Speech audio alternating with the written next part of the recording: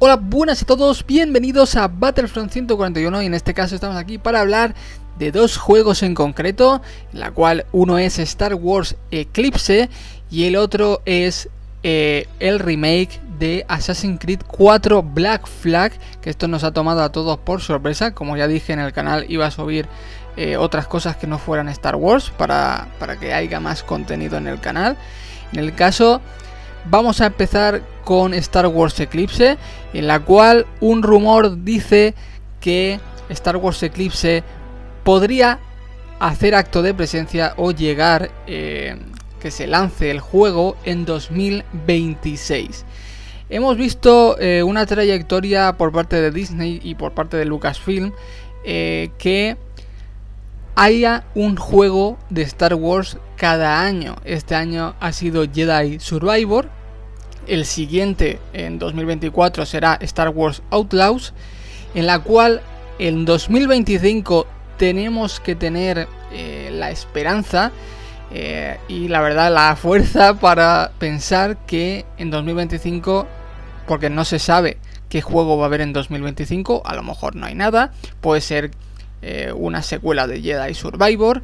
En el caso de que sea la secuela, que podría ser, no lo sé, eh, la única opción es que fuera Battlefront 3 eh, y es la esperanza que yo tengo, que en 2025 salga Battlefront 3. como ya sabéis, las películas de Star Wars se han retrasado, bueno, todos los, todos los estrenos que iban a haber eh, de, Marvel y de Star Wars, pues los han retrasado. En el caso de la nueva trilogía, será eh, en 2026 la primera película, en la cual si Star Wars Eclipse llegara, estaríamos hablando de que en 2026 coincidirían las dos, eh, tanto el juego como la película, eh, y tendría sentido. La verdad es que es un poco extraño que salga un juego que no tiene nada que ver con una nueva trilogía. A lo mejor sí tiene algo que ver porque quieren enlazarlo con... Pero es que es una, una precuela de, hace muchos años antes de, de, la, última trilogía. O sea, no, entiendo por qué hacer eh, un juego en la cual para hacerlo coincidir con la película que no tiene nada que ver, pero bueno, ellos sabrán.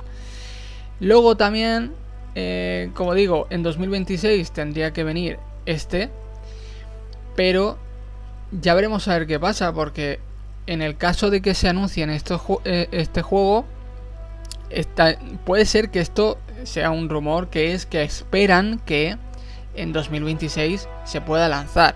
Pero es que había anteriormente uno de los rumores se decía que llegaría en 2027 y 2028.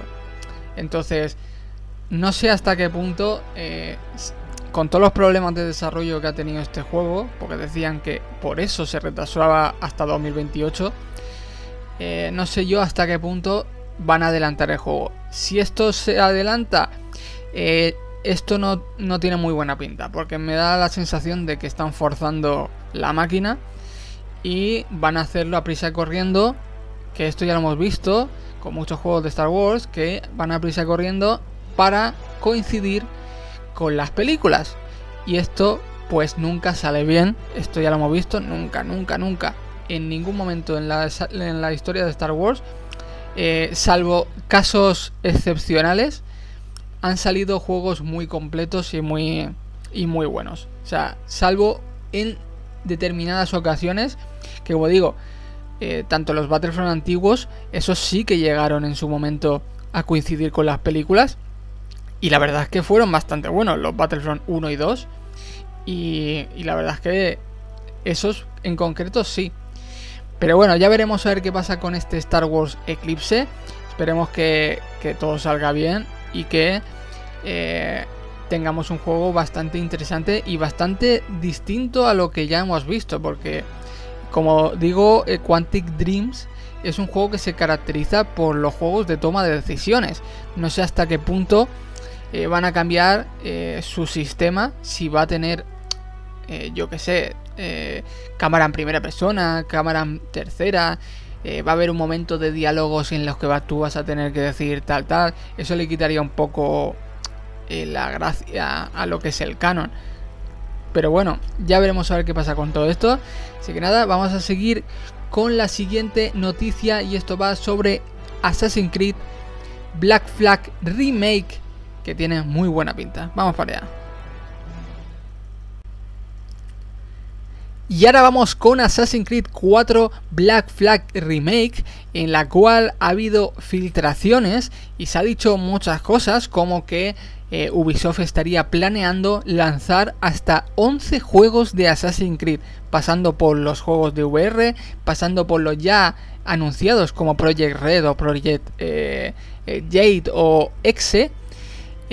Aparte de ellos, otros más. También los juegos multijugador, que creo que eran dos, Invictus y otro, y otro juego, en la cual también se ha filtrado en la uno de ellos que sería Assassin's Creed 4 Black Flag Remake. Esto es una cosa bastante extraña porque lo piensas y dices, eh, ¿por qué empezar por el 4 y no por el 1? Que sería lo, interesante. O incluso te diría el 2, como hicieron en Resident Evil, ¿no? En Resident Evil empezaron por el 2 y luego hicieron el 3 y el 4. Eh, es bastante extraño y la verdad es que luego eh, diré un poco eh, qué es lo que pienso y que yo tengo una teoría que podría encajar, pero claro, esto puede ser solo para hacer un lavado de cara, que a lo mejor sea un remake remaster para decir este juego va a 60 FPS, eh, hemos mejorado gráficamente el juego, o puede ser otra cosa. Eh, yo había pensado que esto podría ser también el comienzo de una nueva saga. Si este remake eh, va bien, puede ser que hagan una trilogía o, dos juegos con Edward Kenway para darle más importancia al personaje. Luego había pensado también, si recordáis, en Assassin's Creed 4 es cuando Desmond eh, nos confirman de que está muerto. Estamos hablando de que eh, a partir de Assassin's Creed 4 Black Flag, todos los demás juegos, eh, hemos estado sin protagonista hasta Origins, que teníamos a Leila Hassan. ¿Puede ser esto el comienzo de una rama distinta en la que Desmond realmente no muere y sigue siendo y que todos los demás juegos que han habido sean una simulación. Esto podría ser, el problema es el presente, ¿qué van a hacer en el presente en el remake? Eh, ¿Va a haber un personaje jugable? No. ¿Van a obviar el, el presente? Sería bastante eh, extraño que, que, que el remake fuera solo de, lo que es el, la época histórica ¿no? de, los piratas. Pero bueno, podría ser también. Ya veremos a ver qué pasa con esto. La verdad es que, por un lado, eh, estoy contento. Sí que es verdad que tengo que decir que Assassin's Creed 4 no es mi favorito. Ni, ni tampoco es que en su momento a mí me llamara mucho la atención este juego. Evidentemente, visualmente eh, era muy colorido y el agua y todo eso estaba muy bien hecho. Y la verdad es que estaba muy bien. Pero bueno, hay que ver a ver qué hacen, si van a cambiar, porque tienen muchos assets del juego este que se retrasa todo el rato, que es el Skull and Bones. Puede ser que vayan eh, metiendo cosas de ese juego. Eh, el sistema de combate, una de las cosas que que a mí no me gustaba el sistema de combate no porque fuera muy parecido a los anteriores como Assassin's Creed 3 y, y Rogue, sino más bien que el sistema de combate de Edward no era muy pirata. No sé cómo decirlo. Al llevar dos espadas, Edward Kenway era un poco eh, ataques. Sí, evidentemente el combate era muy sencillo. Le dabas a dos botones y ya está.